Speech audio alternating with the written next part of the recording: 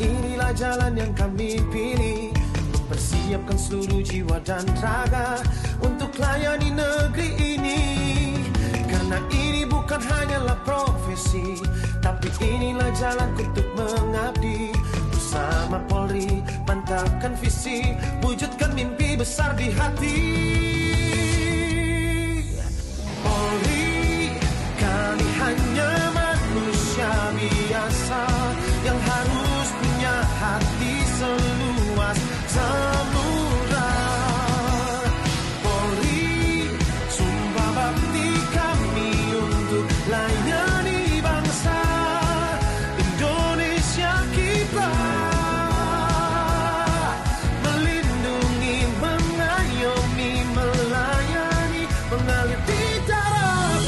Selamat pagi Pak Kanit.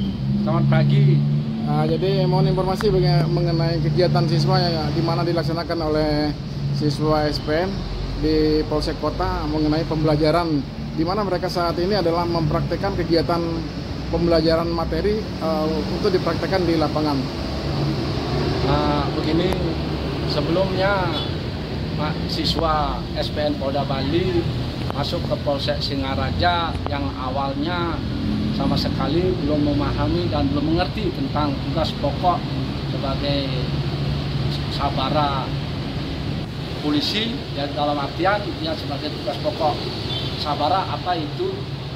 Yaitu tentang pengaturan di jalan atau pengaturan kegiatan masyarakat di mana sebelumnya dia masih gagak gugup dalam artian masih grogi.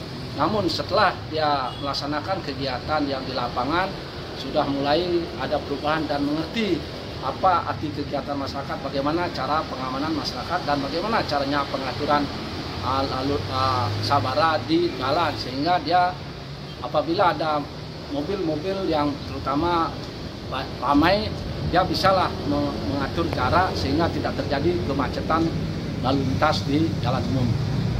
Dan di samping itu juga apabila nanti ada kegiatan sepak bola, bagaimana caranya pengamanan dan menghadap ke mana yang yang sebenarnya dia harus yang diamankan apakah sebenarnya saya masih tahu dia agar menghadap ke masyarakat. Apabila ada masyarakat yang berbuat yang yang aneh-aneh sehingga kita lebih awal mengetahui dan lebih dulu kita bisa koordinasi antar pimpinan. Itu aja. Baik Pak Kanit, terima kasih. Selamat pagi. Selamat pagi.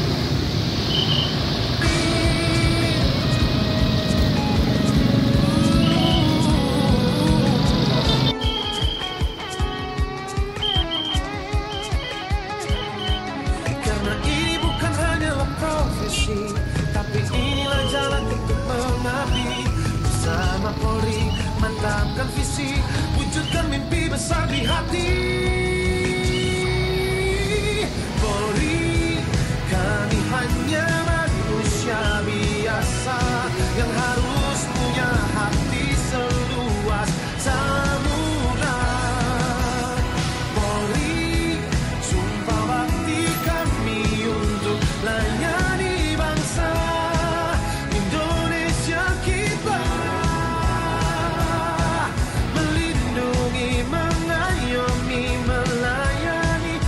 you be?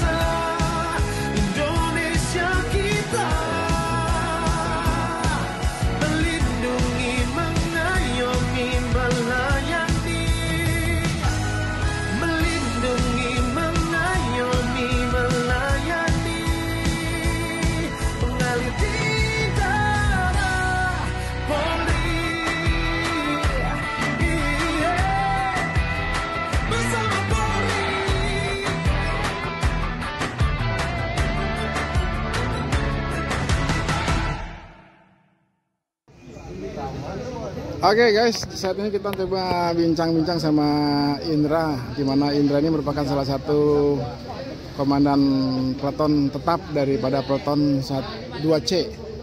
Ah, Indra, uh, selama ini kan mengikuti uh, kegiatan pembelajaran turgiat masyarakat pemerintah di SPN. Itu teori yang diberikan oleh Gadik.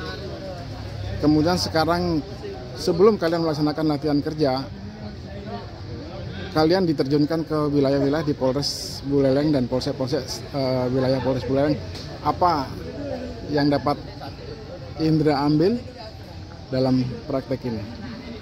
Mohon izin uh, perkenalkan diri. Nama saya siswa IGD Indra Satria Wibawa, Nosis 483. Jadi yang saya dapatkan selama mengikuti pendidikan di SPN lalu melakukan praktek di kewilayahan saya merasakan banyak mendapat pengalaman apalagi karena uh, adanya penambahan-penambahan ilmu yang didapatkan dari wilayah. Termasuk juga banyak pengalaman yang karena secara langsung kita terjun ke masyarakat mana uh, apakah pembelajaran teori sama praktek ada perbedaan?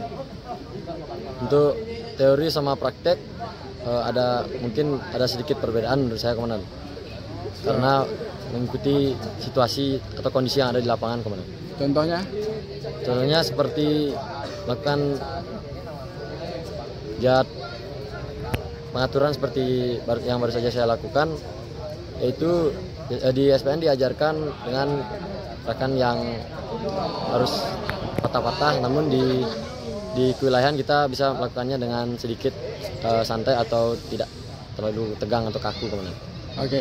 Jadi maksudnya jadi selama pelaksanaan di SPN diajarkan uh, cara yang pengaturan lalu lintas uh, sesuai dengan 12 gerakan pengaturan lalu lintas, namun Siap. di kewilayahan bisa dilakukan secara fleksibel. Yang Siap. penting bagaimana masyarakat mengerti atas apa yang diperintahkan oleh petugas polisi begitu. Siap, Oke. Oke, kita aja Indra ya. Terima kasih. Selamat pagi. Siap. Pagi, pagi, pagi. Satu hati untuk Indonesia. Salam sehat, salam presisi.